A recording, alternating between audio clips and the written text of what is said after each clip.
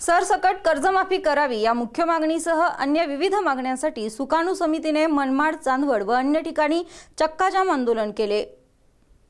सरसकट कर्जमाफी या मुख्य मागणीसह इतर विविध मागण्यांसाठी सुकाणू समितीचे सदस्य राजू देसले यांच्या नेतृत्वाखाली मनमाडला संतप्त शेतकऱ्यांनी बाजार समितीत कांदा लिलाव बंद पाडल्यानंतर पुणे इंदोर मार्गावर चक्काजाम आंदोलन केले.